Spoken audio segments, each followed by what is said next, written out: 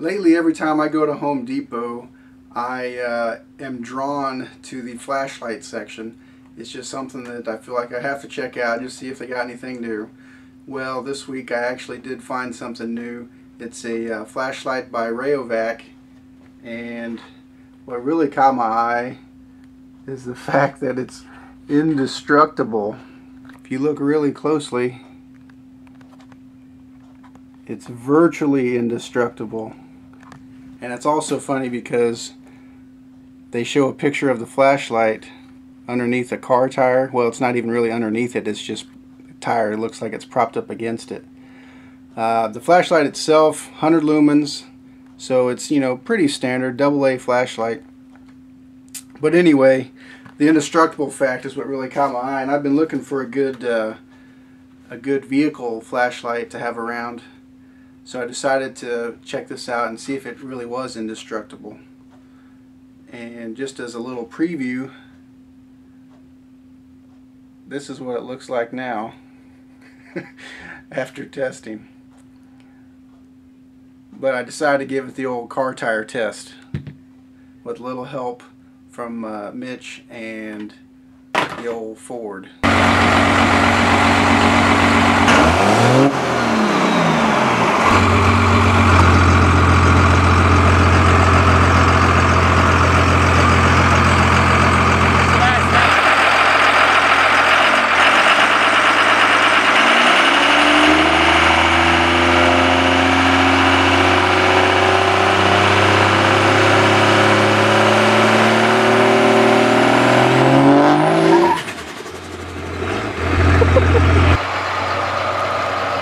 it's still on.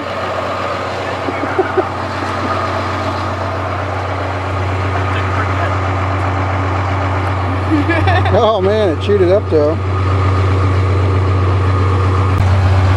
We're all in agreement that that wasn't very good burnout. Huh? We're all in agreement. Bullshit, it was spinning when it hit the tire. I saw So, it. We need, we need you to try that again.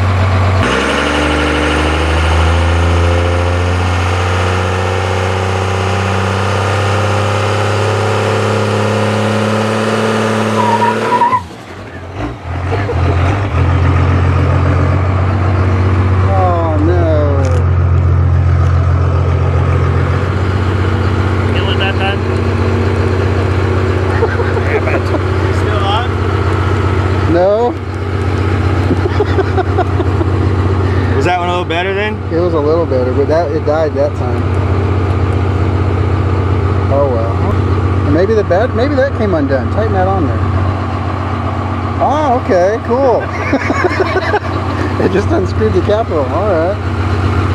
Yes, it still works.